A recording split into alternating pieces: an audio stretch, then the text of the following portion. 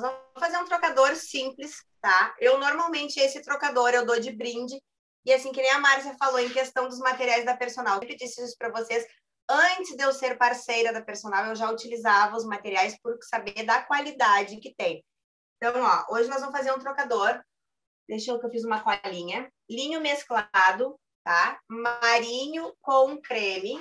Este daqui. Fiz um bordadinho na base dele, escrito trocador. Depois lá no Insta eu posto a foto dele e boto o nome da fonte, se vocês quiserem. 46 de comprimento por 30 de largura.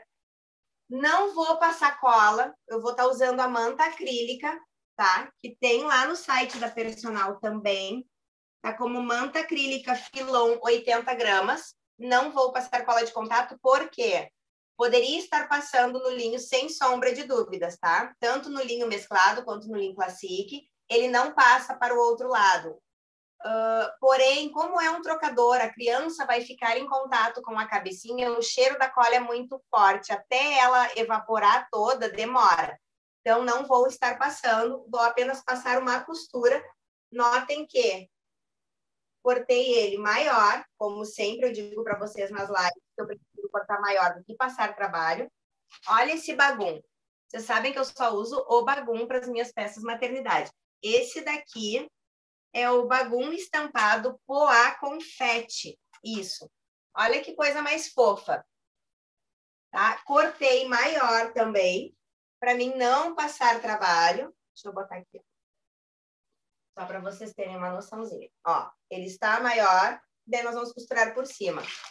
E vou fazer um debrum com uma tira de 4 centímetros, cortei o comprimento todo do meu sintético doll rosa bebê, vai sobrar, mas para mim não ficar com um pedacinho picado ali, não cortar, eu fiz a tira inteira. Então, ó, vou fazer uma com doll rosa bebê, todos os materiais que nem eu falei, vocês encontram lá na Personal. Ah, um detalhe, gente, essa linha de bordado aqui, ó, também é lá da Personal Art, que eu tô apaixonada por ela, pelo brilho que ela tem. Ela é da Rita Mari, Ó, a numeração dela, se vocês quiserem depois lá procurar, é 2002, tá? Ela tem um brilho surreal, muito lindo mesmo. Não sei se vocês vão conseguir ver por causa do meu refletor ali. Então, vamos baixar vocês. A peça não é demorada, é uma peça fácil, que dá para vocês venderem baratinho, porque com meio metro de sintético, linho, tecido, qualquer material, como o meu tem 30, 3, 6, 9, 12, vocês conseguem fazer quatro trocadores, tá? Com meio metro de linho sintético, qualquer coisa, meio metro de bagum e meio metro de manta filon, vocês conseguem fazer quatro trocadores, então não precisa cobrar caro e podem dar de brinde. Eu dou de brinde para as minhas clientes sem botar a manta acrílica no meio, certo? Eu boto apenas como é brinde, é só para a mamãe ter onde botar o nenê. Então vai o meu tecido e o meu forro. Vou mostrar para vocês. Nós vamos fazer um sanduíche e o jeito que eu faço é igual a esse, porém sem a manta. Uhum. Ó, vou botar o meu forro, a minha manta, vou vir com o meu linho aqui por cima, só que ele dá uma grudadinha, a gente dá uma arrumadinha aqui, peraí.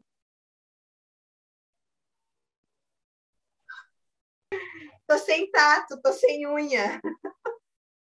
Ó a louca. Ó, vou botar em cima. Aí a gente vai trazer para a máquina e vai passar uma costurinha de meio pezinho de máquina, certo? Em toda a volta. Fazer um sanduíche com a manta.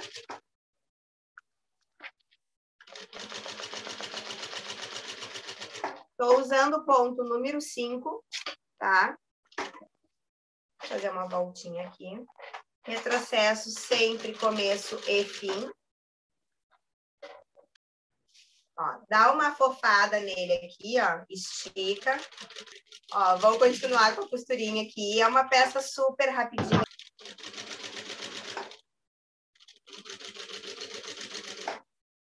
Ó, gira. Depois a gente vai arredondar esses cantinhos aqui, tá? Mas isso depois, porque, ó, eu vou terminar de passar a costurinha aqui e vou refilar toda a sobra da minha manta e do meu bagulho. Aí depois a gente arredonda.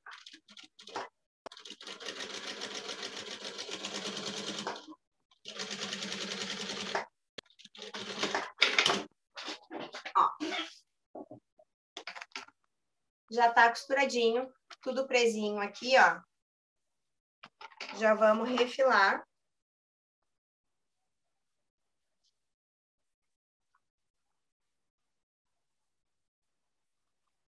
E aí, depois de refilar, eu vou arredondar as pontinhas. E como vocês sabem, eu sou muito de usar o que a gente tem em casa.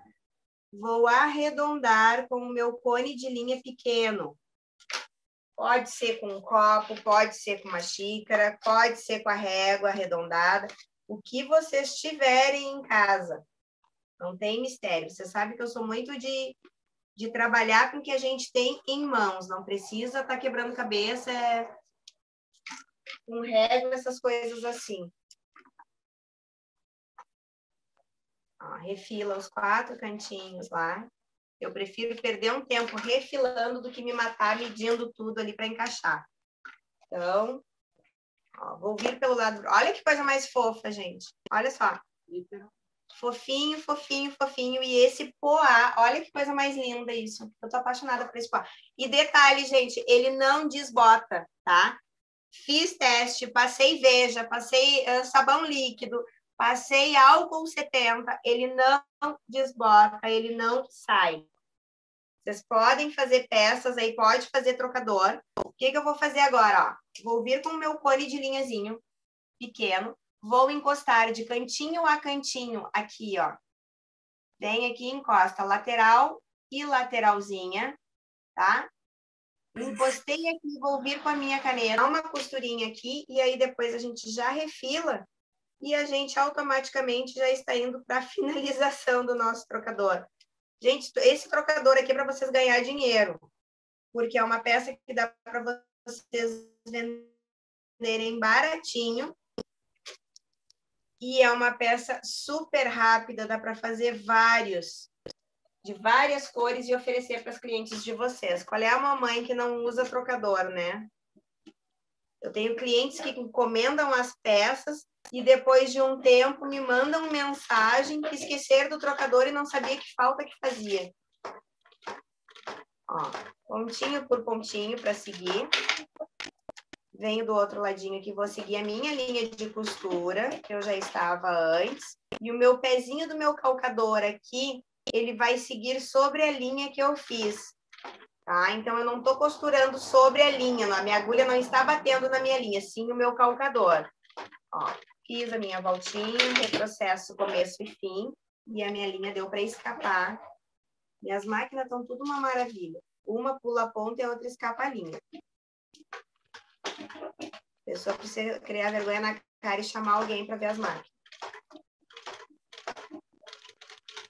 retrocesso, última voltinha. Ai, que coisa mais fofa que tá isso. Ó, gira. Retrocesso. Ó, notem que, não sei se vocês vão conseguir ver, aqui desse lado. Aqui nem pegou minha costura, olha que máquina louca. Peraí, gente. A linha tá ali, mas ela ó, escapou a linha aqui. Coisas que só acontecem no ao vivo, né?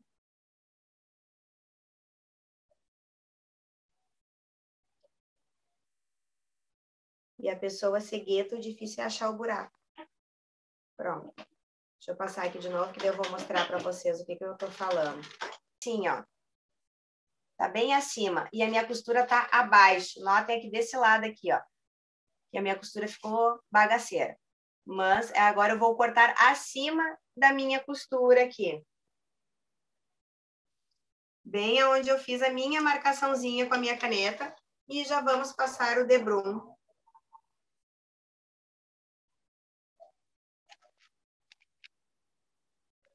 A parte mais demorada é o debrum. Então, bora clipar, não tem que ter vergonha de clipar, porque faz toda a diferença, um trabalho muito bem feito. Agora, gente, ó, com o mulinho virado para cima, que é a parte que vai aparecer, tá? Eu gosto de fazer assim, cada professor tem a sua técnica, mas eu prefiro assim. Vou pela parte de baixo aqui, ó. Vou vir pela minha parte de baixo, frente da minha tira de, ba de bagum, não, de sintético doll, virada para o meu linho classic, encosta aqui, beirinha de pumbeirinha, e agora um pezinho de máquina.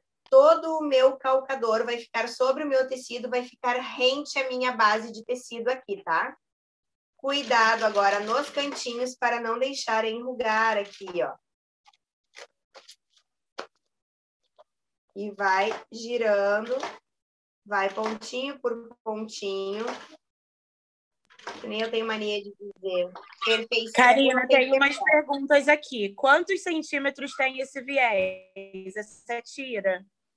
Na verdade, assim, ó, eu cortei, peguei para não picar o meu sintético, eu cortei uma tira inteira, porque depois o que sobrar eu uso de debrum para bolsinho, alguma coisa assim. Então, eu cortei 1,40 por 4. Tá. Tem uma outra pergunta aqui de como limpar esse linho. Gente, o linho tá? Eu já fiz testes. Como é que a gente faz, como é que eu fiz os testes? Um paninho com um sabãozinho neutro, uma esponjinha, pode passar nele, sem problema nenhum, ele não mancha. Claro que se for óleo, alguma coisa do gênero, assim, a gente sabe que às vezes cocô de nenê também tem uma coloração mais forte, amarelada, e isso acaba manchando. Mas se for uma coisa mais superficial, uma esponjinha com sabãozinho neutro, a gente faz aquelas espuminhas, passa nele, vem com uma escovinha de leve, bota ele no sol para secar. Ele limpa. Já fizemos testes no ateliê já, tá? Ó, vamos até a outra voltinha. Deixa eu dobrar, porque senão eu vou empurrar vocês.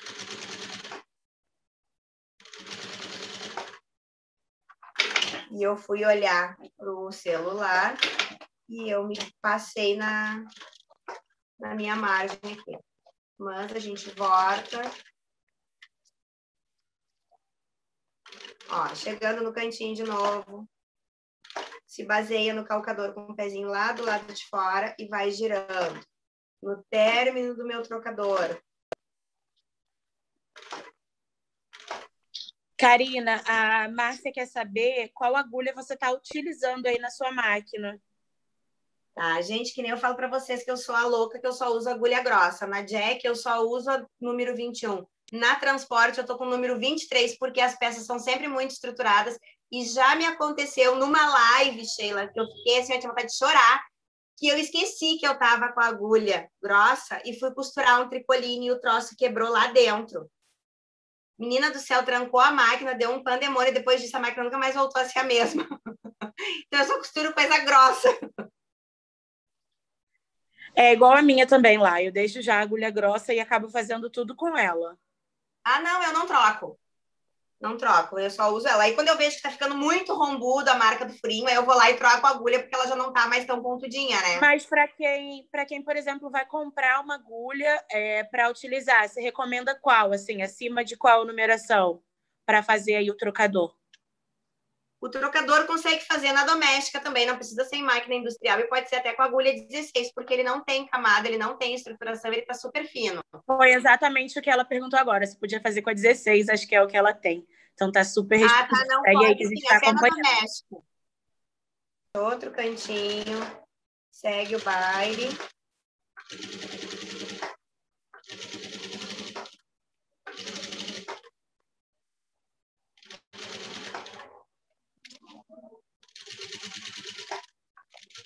Ó, e eu vou dizer para vocês que o meu Debrum vai dar ali o meu 1,40. Tô achando que o meu sintético, o meu rolo acho que não tá fechado.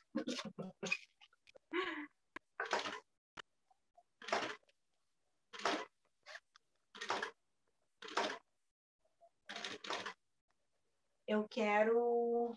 Me alcança ali que eu vou fazer um acabamentinho aqui, mãe. Peraí, deixa eu pegar aqui, gente. Até a mãe sair da cadeirinha dela, é mais fácil eu levantar. Para não passar, eu tinha mania, deixa eu tirar aqui, depois eu continuo. Gente, eu tinha mania, vocês sabem, de botar assim, ó, um sobre o outro, tá?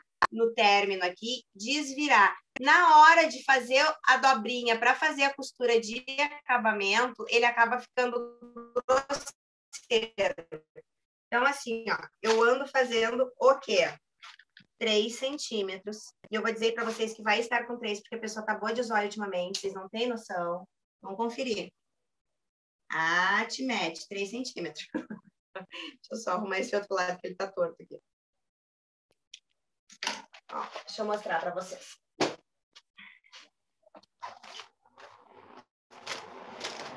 Bota o nosso tirante. Deixa eu abrir só um pedacinho aqui do comecinho, ele já tava.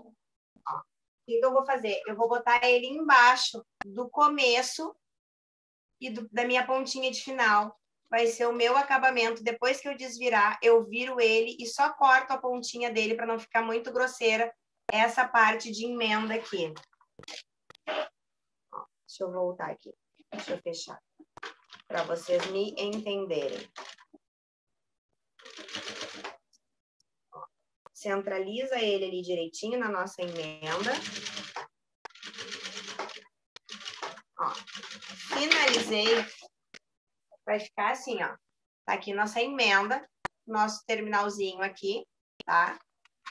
Vamos desvirar ele todinho agora. Como ele é molinho, que ele não tem estruturação, se eu tivesse colado a minha manta acrílica, ele ficaria um pouquinho mais firmezinho mas que nem eu disse lá no começo, é peça para bebê e o bebê vai ficar em contato aqui.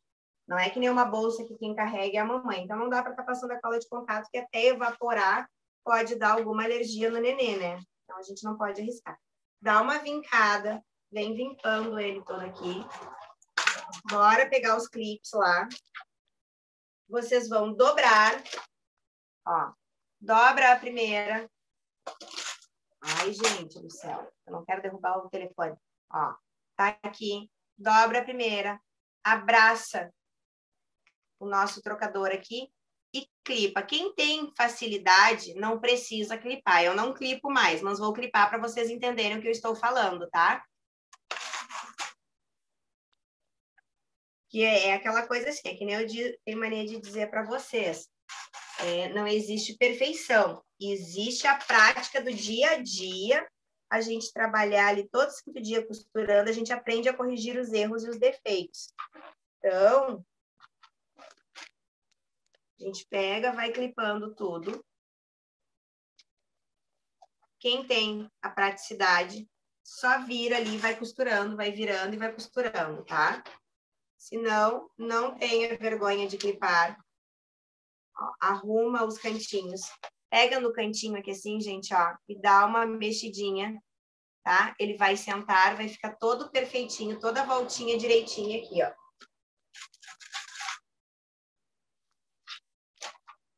Só é mais chatinho porque ele está literalmente molinho. Ele não tem uma estruturação. Quem quiser, eu esqueci de falar, mas vamos falar agora, pode fazer uma tela C também, gente tá? Pode fazer um trabalhado a mais. Faz uma tela C, fica muito delicado e automaticamente ele fica mais estruturado também.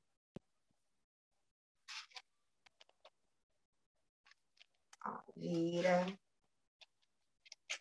Como eu disse, a parte mais chatinha é o nosso viradinho aqui.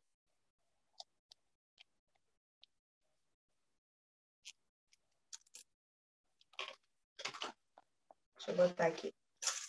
Para conseguir virar. Gente, não sei na cidade de vocês, mas aqui no Rio Grande do Sul tá um calor. Estão prometendo chuva faz mais de semana e a chuva não chega é nunca.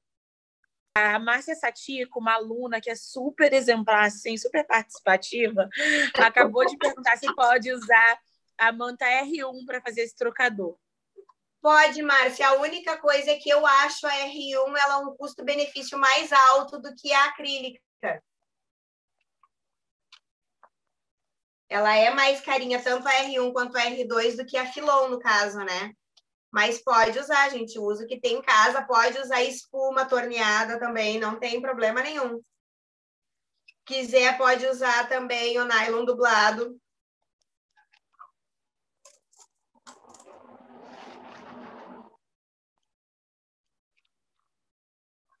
Sheila, eu assisti, como eu fui moderadora da Márcia, eu aprendi muita coisa, né? Mas tem coisas assim que eu fiz questão de não aprender.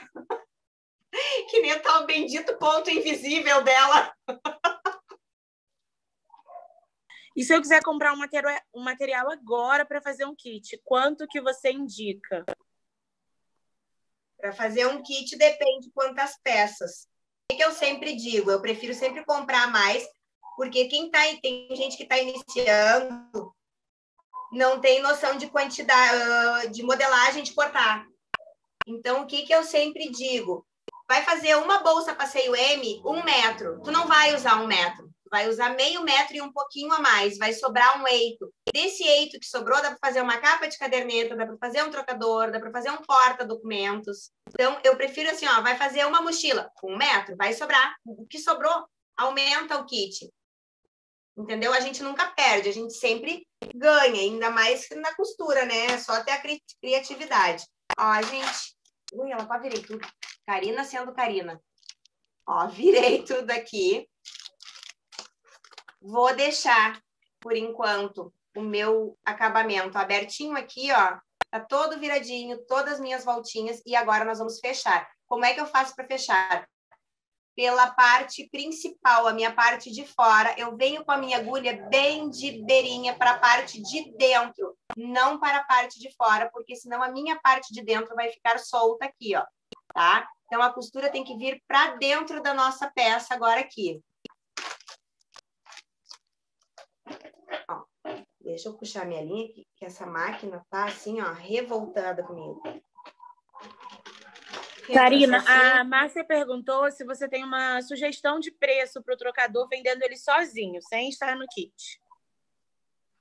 O trocador, que nem eu disse, meia, meio metro de linho sintético, qualquer material, a gente faz quatro trocadores.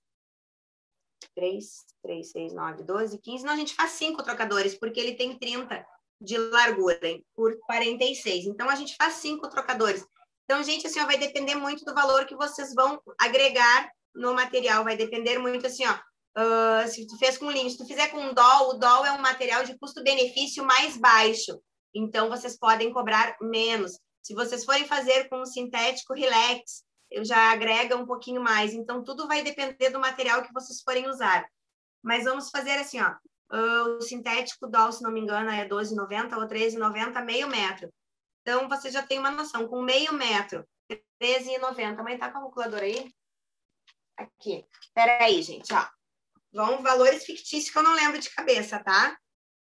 Ó, vamos botar que seja 14 reais. Vamos arredondar para 15, porque eu já conto com frete, tá? 15 reais. Uh, o bagum estampado, não lembro quanto é que tá, 20...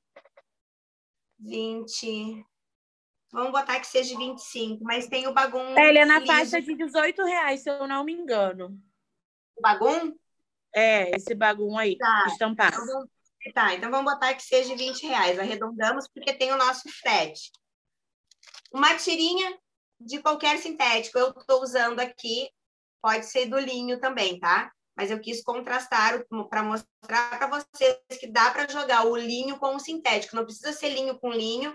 Bagum 17,90. Obrigado, Maria. É, tá Agora eu vi a mensagem. Então, essa é uma tirinha. Dessa tirinha aqui, vamos botar que a gente gastou um real, nem isso. Deu 36 reais. Ou vamos botar o meio metro, né? Vamos botar aqui 35 reais e o meio metro do, do meu bagum aqui. 35 reais o bagum. Não, bagum não, o doll. O doll, eu já botei ele lá na frente. Vamos botar ele de novo aqui, mas ele vai dar um 8, então não precisa. Eu tiro de sobra nas tirinhas da. Como ele não tem 50, a gente tira daqui a tirinha. Então, dá 35 reais para a gente fazer quatro, cinco trocadores, certo? Então, assim, ó, 35 reais, vamos arredondar que seja 50, tá? Contando com frete, com a linha que a gente gastou, a nossa luz vai acrescentando, a gente fez um bordadinho. Então, 50 reais para fazer cinco trocadores. Cada trocador, o custo saiu de 10 reais. Vocês, o que, que eu faço? 10 reais vezes 20%, isso eu já disse para vocês. Não, não é vezes, é mais dessa, apertei errado. 20%. Por que os 20%? Eu conto Porque se a cliente chorar assim, ah, mas está muito caro. Não, mas eu te dou um desconto. Então, vocês não estão tirando do lucro de vocês.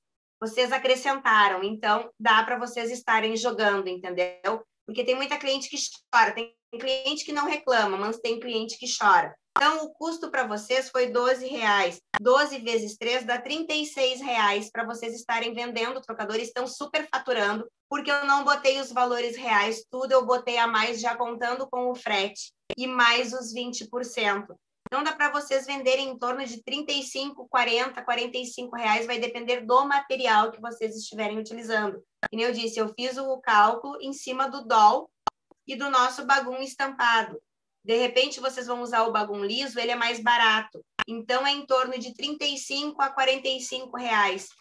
Vocês estão super ganhando, sendo que num trocador vocês já tiraram o custo de todo o material. Vamos voltar aqui, ó, bem na beirinha, na parte de dentro. Qualquer dúvida, pode mandar para a Sheila aí, que a Sheila me passa, gente. Ponto número 5. Cuidem das nossas curvinhas agora aqui. Ó, cantinho, devagarinho, para ficar perfeito. A pressa é inimiga da perfeição. E a cliente quer aquela peça bonita. Eu sempre digo para vocês nas lives, eu passo as peças para as minhas clientes pensando que eu gostaria de receber daquele jeito ali. Então tem que ter amor, tem que ter carinho, porque assim como elas, a gente gosta de receber um produto de qualidade, elas também. E é através daí que vai crescendo a divulgação de vocês, o boca a boca, porque uma vai passar para a outra.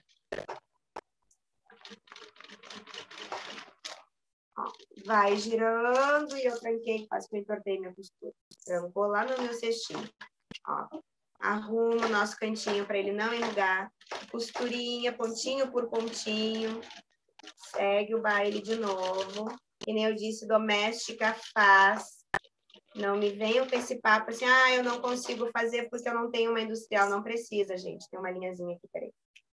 Doméstica faz, não tem estruturação aqui. Não tem agregamento de camadas. E eu vou dizer para vocês que eu tenho alunas que já fizeram peças super estruturadas. Aí vai muito da doméstica de cada uma mas já fizeram peças, as mesmas peças que eu faço na industrial, fizeram em doméstica. E ficou, ficaram lindíssimas as peças. Ó, segue o baile de cantinho.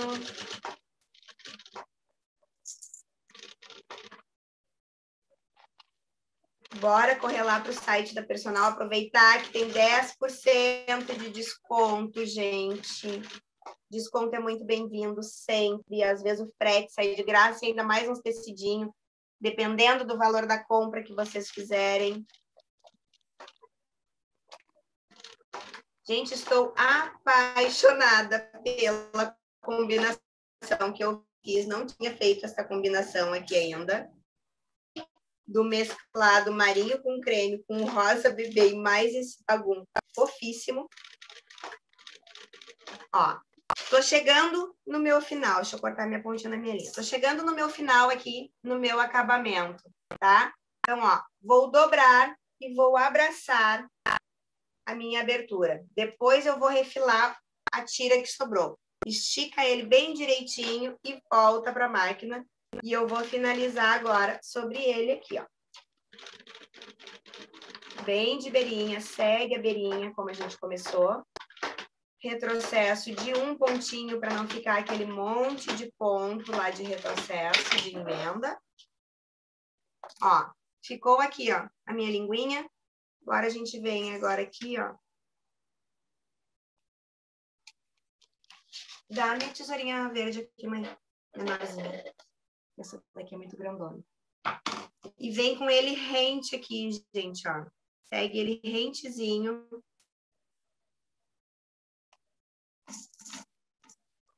Ó. Tá aqui o nosso acabamento, gente, ó. Tá? Vou, deixa eu levantar. Gente, acho que foi a live, a live mais rápida que eu já fiz em toda a minha vida. Ficou lindo. O pessoal tá elogiando muito a combinação aí, aí. Sheila, tô apaixonada, tô louca para fazer um kit, não tinha feito assim ainda. Sabe que na minha oficina eu também utilizei o, o bagum estampado e eu não tinha usado ainda. Eu tô apaixonada. Se deixar, eu quero fazer tudo com ele.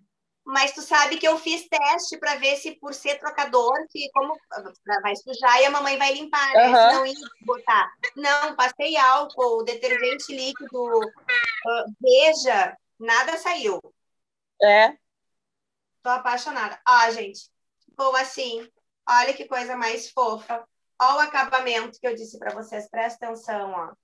Aquela costura perfeitinha, bem na beirinha a parte de dentro ele fica perfeito, não aparece nada e ele fica todo ele na beira. Ela perguntou se você vai colocar botão, alguma coisa para fechar.